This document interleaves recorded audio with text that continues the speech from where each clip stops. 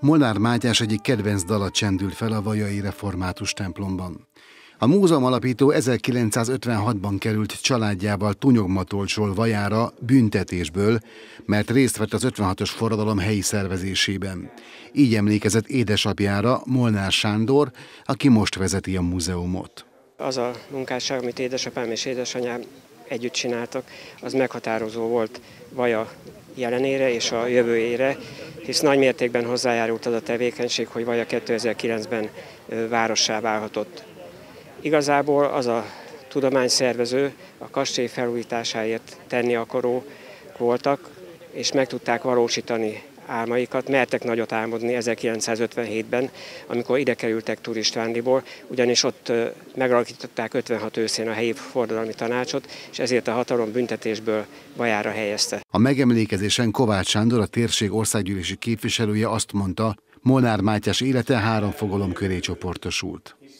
A mai világ talán legfontosabb hármas kijelentéseit vaján megtestesül a mai napon, hiszen Isten haza család egy száz évvel ezelőtt született igazi lokálpatrióta Isten házában, és arról a hazáról, ahol Rákóczi fejedelem is uralkodott, beszélgetünk, vagy emlékezünk. Molnár Mátyás alakját idézte fel Sesták Oszkár, a Vármegyei Közgyűlés elnöke is. Azt mondta, hogy a tipikus vidéki értelmiségi sorsa jutott neki. Az elmondásokból, a kortársak visszaemlékezéseiből egy olyan alkotó életút áll előttem, mely tiszteletet parancsol és tiszteletre méltó. A tipikus vidéki értelmiségi, aki olykor a lehetetlennel harcolva vagy dacolva alkot maradandót, akár a semmiből is maradandót. Ez az ő alakja előttem, és azt gondolom talán mindannyiunk emlékezetében, akik személyesen nem ismerhettük. Ugyanakkor viszont azt is meg kell említenem, Kovács Árpád úrra gondolva, hogy olyan pártfogója volt ennek az intézménynek korábban is, illetve a, a mi működésünk idején is, amely a legjobb állapotban lévő kis vidéki múzeumot jelentette itt ebben a Vármegyében. Akkor esett tehát egy felújításon azt követően, azt megelőző években, a 2000-es évek elején a múzeum, és egy igazán egy gyöngyszeme eh, mai napig is a megyei múzeumoknak ez a vidéki múzeum, találkozások helye, olyan tudós eh, közönségnek a találkozásai helye, amiket Kovács Árpád úr, említett, akiket Kovács Árpád úr említett, és ez a népsor mindenféleképpen tiszteletet érdemlő, és mindez e, e, Molnár Mátyás munkásságának köszönhető. Bízom benne, hogy ez a sorozat folytatódik, és az ő munkássága E, élő emlékezete következő nemzedékekre is áthagyományozódik. Köszönöm szépen figyelmet!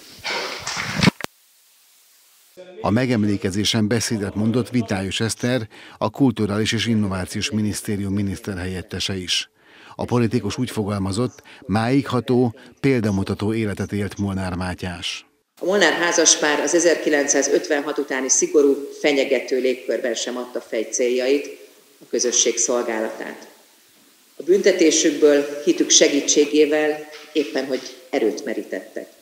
És hitük ereje szétfeszítette rabságuk kereteit, hitük erejével tovább szárnyaltak gondolataik. Innen nézve könnyű észrevenni, nem is történhetett volna velük jobb és fontosabb annál, mint hogy vajára kerültek. És a közösség életében sem történhetett volna szerencsésebb fordulat, mint hogy megérkezik közéjük a Molnár házaspár, egy két csodálatos ember. Nem kétséges, hogy Molnár Mátyás és Elluska Isten szándékának és tervének megfelelően cselekedtek, amikor a rosszban, bajban is felismerték jó Isten támogatását, segítségét, útmutatását. Molnár Mátyásra református istentisztelet keretében emlékeztek. Fekete Károly püspök azt mondta, bibliai értelemben is példamutató életet élt Vaján a Molnár család.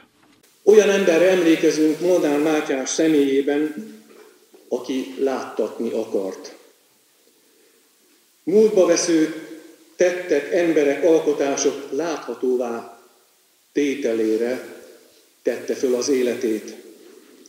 A romokból várat építő, az emlékezet kastélyának létrehozója volt. Nemzeti méltóságunk örökségünk őrévé vált. Molnár Mátyásról két iskolát neveztek el a Vármegyében. Most Vaján a századik évfordulóra sétányt is elneveznek a múzeum alapítóról.